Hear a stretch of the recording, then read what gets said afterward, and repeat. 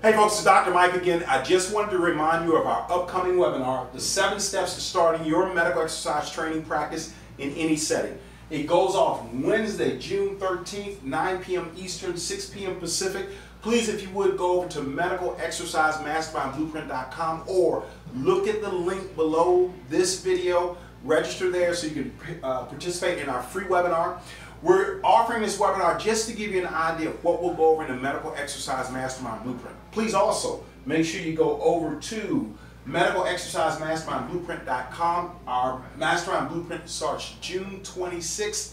Make sure you get registered. Make sure you take advantage of that early bird registration if it's not too late. And we look forward to seeing you in our Mastermind Blueprint program. Again, don't forget about the seven steps to starting your medical exercise training practice.